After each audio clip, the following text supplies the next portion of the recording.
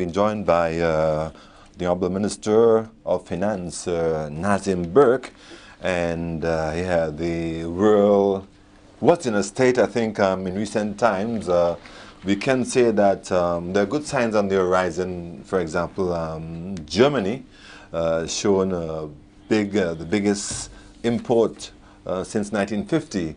7.3% um, uh, more than last year because they have been coming on. The Mercedes, uh, Benz in particular, that company, we understand they're going to um, employ an additional 2,000 um, um, um, workers. I mean, that sounds good. We understand too that America is showing some some expansion, uh, small as it, it might be. England too, those uh, very important um, um, economic powers. And of course, when good things are happening there, it, it sort of uh, fizzles out into the Caribbean. Uh, you, you, must be happy with those kind of news. Well, they're encouraging um, reports. You know, we, we, we can't um, begin to jump for joy at this point. I don't want to be a pessimist, but I think the experience of recent years have shown that, um, you know, um, there's been stops and starts. Uh, there have been, uh, it's been a very, it, has been a very cautious um, um, re reversal of the of the of the of the fortunes of these countries. Um, they've started; it looked promising, and then they dipped again. We are hoping, of course, that this would be the um, the beginning of a of a turnaround, um, a, a, permanent and consistent turnaround, especially in Europe and the United States, because um, you know these uh, constitute, uh, by and large, the, the major industrial economies of the world. Um, they have not been doing very well. Um, the world economy has been carried essentially by the emerging economies, um, Brazil, um, Russia, India, China, uh, South Africa, uh, Malaysia, Singapore. Some of the um, some of these economies have been doing quite well and re realizing very sustainable um, growth, uh, notwithstanding the crisis. Um, but of course, as you well appreciate, our economy is more tied to the United States and the United Kingdom than it is tied to Brazil or China right. or India for that matter. Right. And so even though there's a lot of movement, even though there's a lot of dynamism, even though there's a lot of momentum in the emerging economies, we are not being pulled along um, in this economic, by this economic train. Uh, we, are, we are tied to the economies that are stagnant, right, and therefore our economy is stagnant. So these are encouraging developments, and we are hoping that um, they're, they're, they're, they're, pursued, uh, they're developed in a consistent and, and, and predictable way. We understand too that um, Grenada has not been too badly affected with all of the um, problems in the world. Um, we understand that uh, construction uh, has been doing pretty well and um, tourism mm, has been keeping us afloat and uh, things have not gone too badly in the Spice Isle. Well, we have said so before and, and I think you, you, you, you get a flavor of where the country is at when you see how people are responding to mass activities um, that require some expenditure, how people have responded, for example, to the uh, to the Beres Hammond show, how people have expanded, responded to the drum festival, how, how they responded to the Carriacou Maroon, uh, the Carriacou Maroon festival, right. how they'll respond to some of the ongoing activities. Of course, I don't want to trivialize this uh, because uh, many of the people who um, you do not get a full flavor of what is going on in the country simply by looking at who is attending shows. Right. But, um, you know, we have a lot of vehicles on the island. People are continuing to drive the vehicles and do what they have to do. Um, I think that uh, I think that things are difficult. There are families that are hurting. I, I don't want to, to, to, trivialize this. There are families that are hurting. Many families that uh, I've met, I've spoken to, have listened to their, their concerns and their plight, and we know that um, things are difficult. At the same time, I think when you compare Grenada's situation with most of the other countries in the Caribbean, we have not been doing too badly. It is not uh, sufficient solace and, and, and, and consolation to those who do not have jobs and cannot put food on the table. But we want to say that um, uh, it is true that we have not been doing uh, too badly compared to other countries. I think that the preliminary numbers that we're seeing for the first quarter of the year uh, so far, Trevor, um, would seem to suggest that um, the first quarter was not a bad quarter. We are pretty much on target. As you mentioned, construction is up. Um, uh, tourism, the numbers have increased quite significantly, in fact. And, uh, you know, we, we are now putting together those final numbers for January to March. Uh, but I think we can tell you that um, the signs have been quite positive.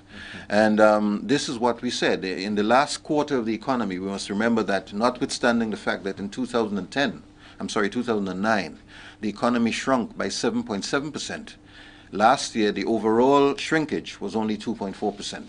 And in the last quarter of the year, we experienced positive growth, you see, because the, the projection was that we would have, the projection in September of last year was that the economy would have shrunk by 2.8%.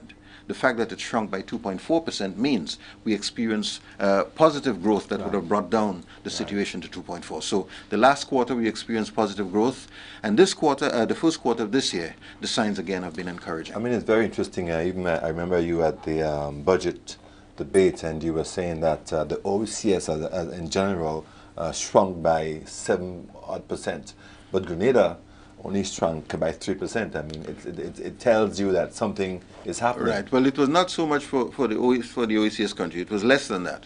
But uh, St. Lucia was the only country that did better than Grenada. Okay. And that, too, was, I think, significant because, um, you know, um, we have had more setbacks, I think it is fair to say, than most of the other countries in the last 10 years.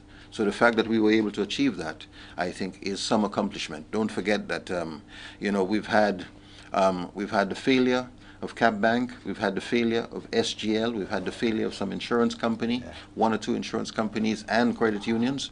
We've had the failure of British American and Clico now. We've had uh, Hurricane Ivan, we've had Hurricane Emily. All of these things within the last 10 years. And yet, uh, Grenada continues to, to show resilience, and it is testimony to the, the quality of our, and the character of our people. The way forward, uh, we've seen um, Germany, for example, even China, um, manufacturing and exports are very, very key. Uh, we don't possess that kind of strength. Um, uh, and then we hear, hear about agriculture, uh, a big opportunity for us to, to absorb. Um, are we moving in those directions? Can we can we move in that direction? Well, we can move in that direction, and we are moving in that direction. I believe that there's a, a lot more can be done. You know, um, uh, but but of course these things take time to to, to come to fruition. We would like to see um, a lot more happening with respect to the um, the growth and expansion of the of the of the cocoa industry of the nutmeg industry, and that is why the government has been putting quite a bit of focus on replanting, clearing the fields and replanting because we want to be in a position to take advantage of the improved market conditions, especially with respect to cocoa. The prices have gone up significantly, and it is projected that cocoa prices will continue to go up for the next 10 years or so. Um, in fact, to very high levels. So that, um, you know, we believe it is important for us to concentrate on cocoa and nutmegs and increase the expansion. We believe it is important for us to produce a lot more, uh, concentrate a lot more on the production of fresh fruits that um, can be marketed outside of Grenada. Um, you know, we're talking about some of the exotic fruits, uh, our Julie mangoes, our soursops, um, our sugar apples, are things that are needed um, by Grenadians living abroad and by people in the metropole. And so we need to find a way to tap into that uh, market. But at the same time, it is also very important for us to produce more um, more fruits for local consumption, uh, more fruits for, um, for for the manufacture of juices and nectars here in our, in, in our own country. It is also important for us to produce uh, vegetables. As uh, as has been said time and again, and I think you realize this yourself, food security is going to be one of the major challenges uh, of mankind as we go forward. It is projected that by 2040, uh, the world will need 40% more food than is needed today in order to survive. And, um, you know, uh, it so? because of the expansion in population, um, which we understand will reach uh, close to 9 billion uh, in the next 40 years, but also because, um, you know, with growing incomes in countries like India and, and, China, large economies who are doing very well, income levels are rising, people's uh, ability to spend and, and to buy um, more and better food um, is also increasing. So uh, there is a, a, growing demand for food in the world. You wonder, um, mm, taking Grenada for example, um, the say Grenada is small, right? But you, you, travel around and there's so much land um, not being put into into proper use, I would say. And you're wondering whether or not this is a pattern that goes right around the world in terms of um, making, putting the land into production, making things happen. Well, again, it is a challenge, I think, for the majority of countries. getting um, especially more arable land into getting, production. Getting more arable land into production. The challenge is not the land per se. The challenge is perhaps more water. Water is more of a problem than land when it comes to food production. Uh, but here in Grenada, I think it is safe to say we have um, arable land and, and, and fertile land. We have water. We have um, sunshine. We have all the basic ingredients to produce food and therefore, um, you know, we do not have the, the, the flat and, and, and, and undulating sort of terrain that you need really for some crops uh, to grow them on a large scale.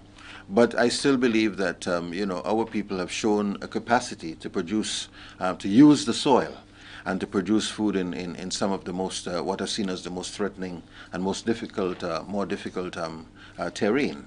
So we can, we can grow food in the mountains. We've done it before. Yes, And um, I think it is absolutely important for us to recognize as a country uh, the critical importance for us to increase food production. Mr. Minister, as we seek to move forward and, um, you know, any projects on the, on, on the pipeline, on the horizon, um, there's, there's saying that uh, maybe a project, two or even three projects, three major projects would really set Grenada on a footing. Um, I believe it will. I mean, I, I, I sort of mentioning that to you before. I, I believe that what we need now, I mean, the, the, the, the basic bread and butter issues are being maintained, yes? And we are managing to do so uh, without dropping the ball. Uh, basic salaries are paid, uh, basic medicines are provided in the hospital, basic things are being done. Um, at the same time, you need a lot more to energize the economy, and to and to and to do so, I think uh, two or three really big projects uh, would make that would have that kind of impact. Of course, the fisheries project in Gouyave is going forward, but that by itself will not create the kind of economic momentum that we Um, spoke before you go about. on, um, how is that proceeding given the situation with Japan? Well, the last information that we had was that it was proceeding well. I'm not aware of any setbacks as a result of the situation in Japan, but frankly, I've not had a report within the last uh, week or two on it. So I, I don't know that there's any difficulty in that regard. But it's something that we need to keep in mind Yeah. because, of course, uh, we all know Japan has gone through a very, very uh, difficult period and it has disrupted um, all aspects of economic life. Uh, You, you, you must be heartened. I mean, uh, the world must be heartened when they, you look at uh, the northeastern um, province in, in Japan. Um, yesterday, the, the children went back to school for the first time. Yes, which is and very, that is touching. you very know? touching Yeah, and yeah. very heartening. You know, we are reminded, of course, of course, although the scale was perhaps nothing like what Japan is experiencing, I think we all in Grenada are reminded of the dislocation, the inconvenience, the, The, the, the emptiness that you feel when something like this happens. You know, so um, so that is that is the situation. But going back to the issue that you raised Yes. earlier, um, as I as I was saying, uh, we need a couple of big projects to get off the ground, and that is what we're focusing on. This is why so much time and attention was given to the CCC uh, situation. This is why so much time and attention is still being given uh, to the to the to, to the to, to the Grenville uh, Market project, um, and of course um, we continue to work with two developers, um, one in respect in the south in respect of the Four Seasons Hotel, and one with respect to uh, the Levera project, to try and get those two projects going. We are beginning to see encouraging signs in relation to those projects. I could not go into any detail at this moment. I believe that um, within the next month or so, we will have a better appreciation of um, what can happen and, and when uh, in respect of those projects. Uh, we also want to say that um, we are beginning to see some encouraging signs with respect to the, um, the, the, the, the poultry project in St. Mark. Um, so there are a number of things that we are trying to, to, to get off the ground. I believe that I'm very hopeful for this year. I'm very, very hopeful for this year. I believe that this, this year we will see some, some positive things happen uh, before year end. And um, it has not been an easy road. Uh, we do not want to pretend that everything is rosy. It has been a challenging period. We are continuing to work, but it takes time to bring the results that we want. And I believe that if we can get two or three of these projects going, Grenada will be a better place. The Grenville Market Square, um, one would have thought that by now things would have been up and running. Yes, we, we, we thought so too, quite frankly. And uh, we we had hoped that um, you know we were going to be able to take this project and run with it pretty in short order once we came into government. That was not to be, largely because of some management and design problems, which were not of our own making, and, and which I think the opposition has quite disingenuously um, tried to suggest that it was just a failure or some kind of ineptitude on the part of this government. There were serious problems with the design, and um, we had to go back to the drawing table um, to get new, new, designs or revise designs on these projects at added expense to the government of Grenada, at least okay. I should say, at least $80,000 more um, to, to get these designs done. And at the same time, um, we had the, perhaps the fortune that as a result of this new situation, uh, two, three companies, I'm sorry, three Grenadian companies were now able to qualify, uh, pre-qualify in the bidding process. Before that, no Grenadian company had been uh, had been uh, pre-qualified. Had a chance. Had okay. a chance. So okay. so this was a very positive development for us. Um, the latest information we have is that the projects the project will will, will begin by the end of June. So um, we are we are staying we, we are staying course on it. We are keeping our fingers crossed. Of course, um, the Ministry of Works would be able to give us much more hands-on information as to as to um, how that is progressing. But their target dates is the end of June for the commencement of the, of the abattoir. So um, I believe that um, that is something too that is very encouraging. And you know, um, we have to we have to say that um, solving the unemployment problem is not uh, going to be easy. It's not going to be immediate. It's not going to be instantaneous. It's going to be a process. It is important for us to recognize that um, a lot of the people who are unemployed today um, are the young people. And the numbers are highest among the young people. Uh, the school leavers and first time uh, job seekers are the ones who are, are facing the brunt of this problem. Uh, the people who worked as fishermen, as bus drivers, as bus conductors, as farmers, by and large, they continue to work in the crisis. So self employment continues in the crisis. Government employees continue to work in the crisis. The problem, the build-up of the unemployment, the bottleneck really comes from that those persons uh, who have, have left school, have joined the workforce relatively recently, and because of the crisis, we have not been able to absorb them into the into the economy. And and and, and you, you know we have to look at the history of the situation. In the past, when um, we had visas, when, when there was no visa requirement to travel to Canada, when people could simply have jumped on a plane yeah. and go to Canada and look for economic opportunities over there, when uh, it was uh, much easier to go to the United States to find employment over there, to, to start a living and look for an economic opportunity, when it was uh, much more possible to go to Europe, especially the United Kingdom, uh, even Sweden for some for some uh, young young men, um, and, and, and Germany for some young men. When these things were happening, we had at least an escape valve where um, people could have found another way, another way to, to, to find an opportunity. In this particular case, largely because of what has happened, especially the loss of uh, the, the imposition of the visa requirement, it has changed the opportunities the opportunity paradigm for a number of our young people. And we have to blame the former administration for this. They created the reckless conditions that now put us in a position where we have very few alternatives, very few escape opportunities for our young people. So it is not enough to simply get up and say, Nazim Burke is not creating jobs for us. Unemployment is high and Nazim is doing nothing about it. That's not the problem. And we must look at it honestly. We must look at it historically. There's a problem. We do not have some of the avenues that were available to us 10 years ago right. are no longer available to us. And Mr. Minister, I heard you on a different um, entity make a very, very important point about the CCC issue. You talked about the fact that um, the operational cost, I mean, the, uh, 50 or uh, every dollar, 50 or 60 cents going towards CCC? I mean, I think you need to further, um, you know, let people know about the situation in terms of the CCC situation. Um, operational costs uh, so so so tremendously high. Well, yes, I mean it's something that we've spoken about, and I think it, it, it resonates with people because you know you can see it yourself that it does not make sense to engage in, the, in, the, in, in what is being proposed. As we said before, uh, the government um, uh, started negotiations with the CCC to, to resume this project. Um, there were a number of things that were required to be done. Government was owing CCC as much as $18.7 million from previous work that had been done. We sat down, we negotiated a payment schedule, we signed a memorandum of understanding saying, well, from now on, this is how we're going to pay roughly we've agreed to pay them half a million dollars a month. We started with a one million dollar payment and said we'll pay half a million dollars a month in order to, to break this down. And we were quite happy that they were prepared to work with us on that on that basis.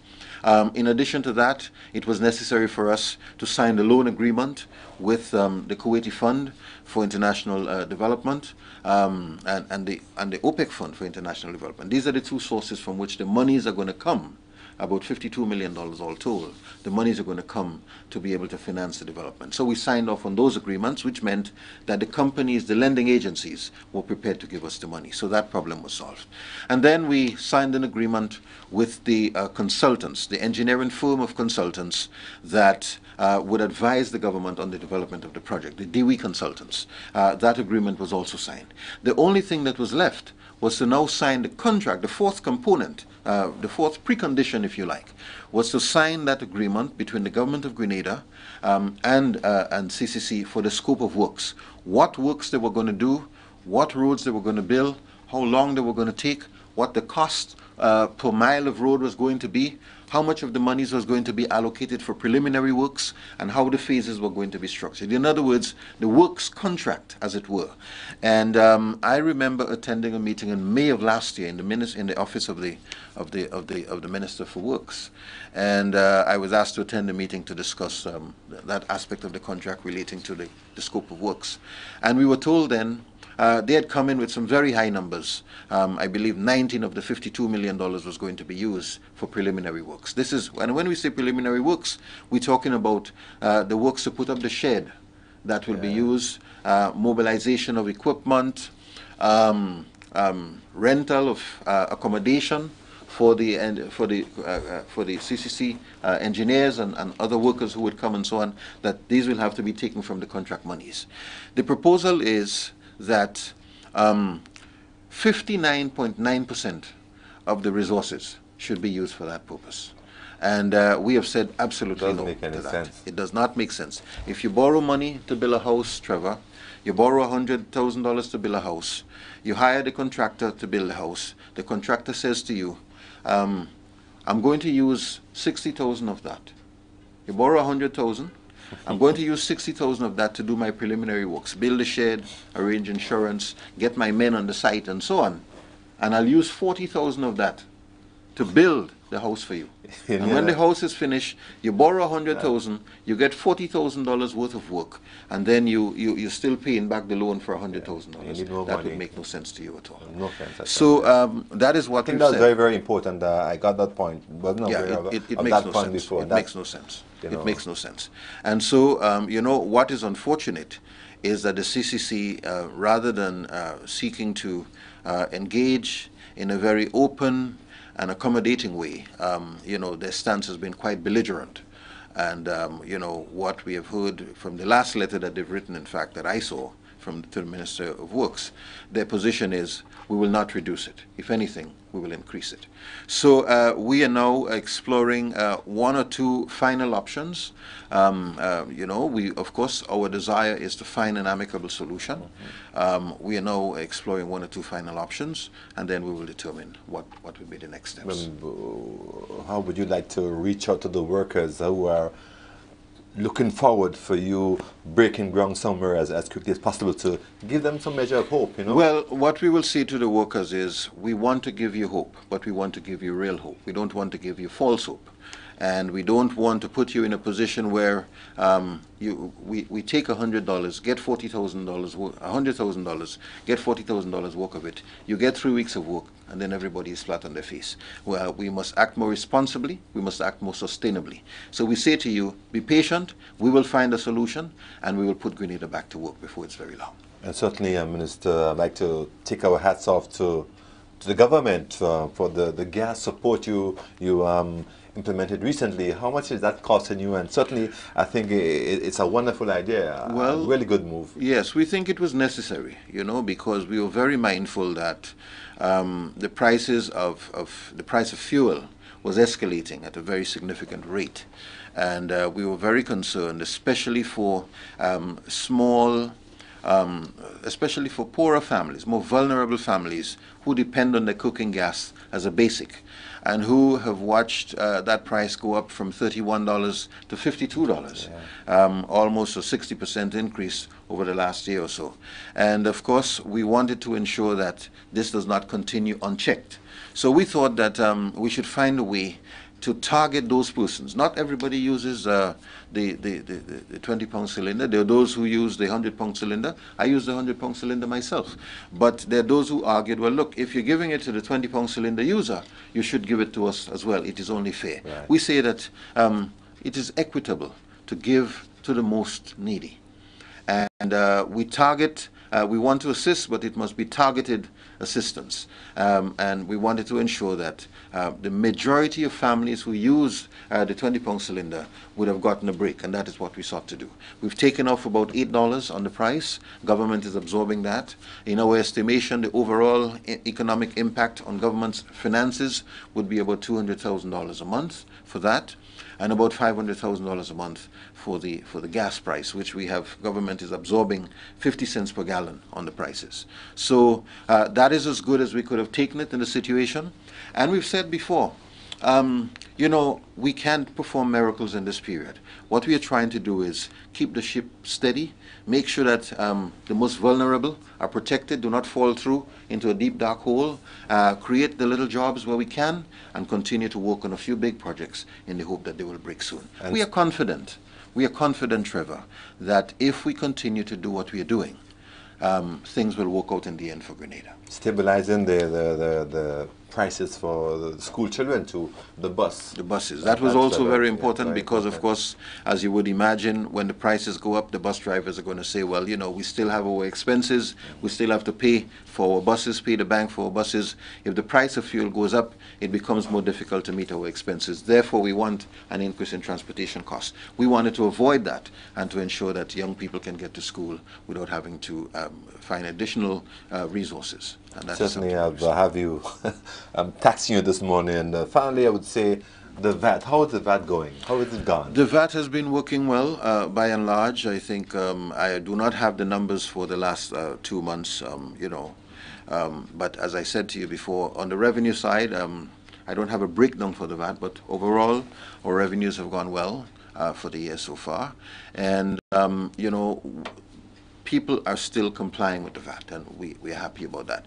We have sought... It has reached um, right across the board? Right across the board. You know, uh, you may recall that, um, you know, last year we did a number of administrative changes before we could have changed the law, a number of administrative changes to ensure that um, people who, um, things that um, would have put people in a better position, give them some breaks on many critical things. We did not want to wait until we changed the law, and we did not want to be changing the law too often and too frequently.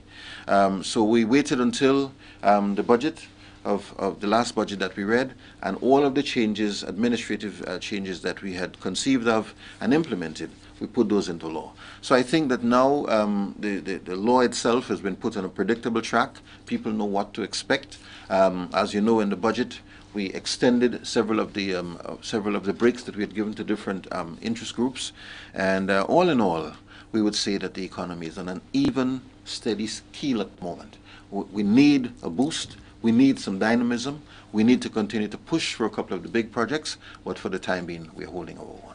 Sounds good, Mr. Minister. Thank and, uh, hopefully, um, once we keep the the hard work and dedication going, I think um, uh, we just might um, get that big injection. Like you said, maybe one or two of those projects. Um, hopefully, um, you can resolve the situation with CCC or, or get to some other company as quickly as possible.